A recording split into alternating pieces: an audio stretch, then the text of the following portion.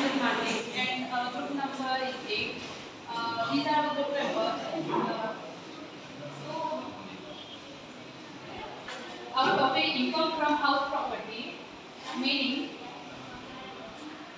property plant equipment in financial statement focus on company's tangible assets like building and land. For uh, house property, it includes structure assessment for business.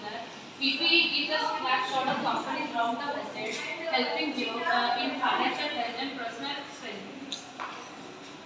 Meaning of house property. House property refers to residential structure, structure including house, apartment or any dwelling unit along with the land uh, on which they are built. Uh, in the context of real estate and financial reporting, reporting house property is considered a tangible asset. It holds significance of individual as well place of residence and for business as an investment or operational space. Understanding the value of implication of house property is essential in various fields, including real estate and taxation, uh, financial analysis. Will continue, continue my meeting.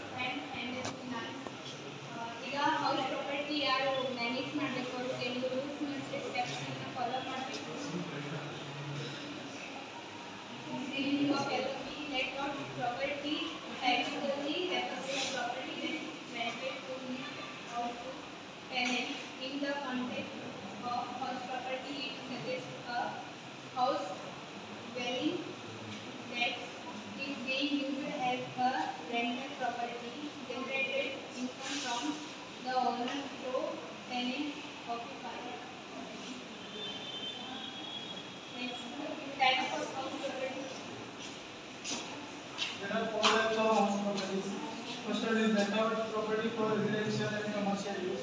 Rental property for residential use means uh, renting out of property, renting out of property or a house, renting out of property or a house uh, to an individual or a uh, family. Second one self-occupied property for residential. Self-occupied property for residential use means uh, self-occupied property for residential use means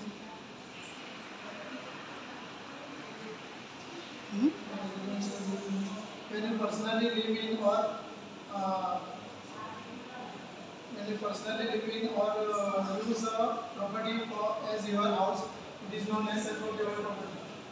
Next will be by brother.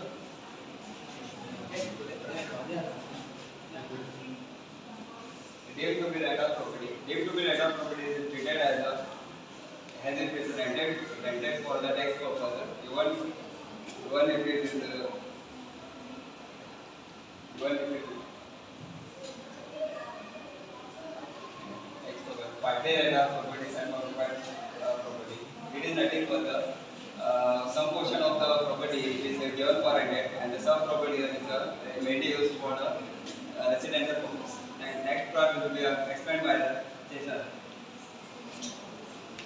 My name is Nagara. My topic is house property.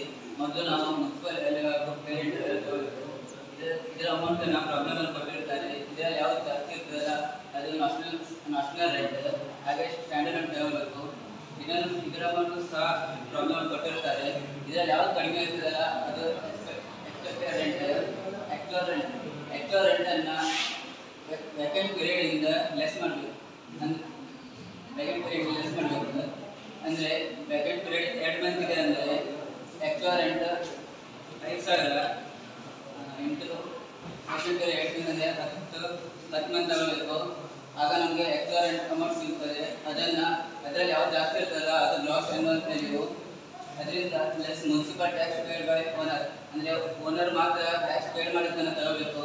Tenant tax paid ಮಾಡಿದ್ದನ್ನು ತಗೊಳ್ಬಾರ್ದು. ಹಾಗೆ ಅಂದರೆ ಎಲ್ಲ ಇದರ ಇದರಲ್ಲಿ ಯಾವ ಇದನ್ನು less ಮಾಡಿದಾಗ ನಮಗೆ ಆನ್ಯುವಲ್ ವ್ಯಾಲ್ಯೂ ಸಿಗುತ್ತದೆ less standard debts under section twenty four ಇದರಲ್ಲಿ ಎರಡು ಪಾಯಿಂಟ್ ಇರುತ್ತದೆ ಒಂದು thirty percent of annual value ಅಂದರೆ ಈ ಅಮೌಂಟಿಂದ ತರ್ಟಿ ಪರ್ಸೆಂಟ್ ಮಾಡಿದರೆ ನಮಗೆ ಆನ್ಯುವಲ್ ವ್ಯಾಲ್ಯೂ ಸಿಗ್ತದೆ. ಹಾಗೂ ಇಂಟ್ರೆಸ್ಟ್ ಆನ್ ಇದನ್ನು ನಮಗೆ ಪ್ರಾಬ್ಲಮ್ ಕೊಟ್ಟಿರ್ತಾರೆ ಇವೆರಡು ಲೆಸ್ ಮಾಡಿದಾಗ ನಮಗೆ taxable income from house property ಸಿಗುತ್ತದೆ ಥ್ಯಾಂಕ್ ಯು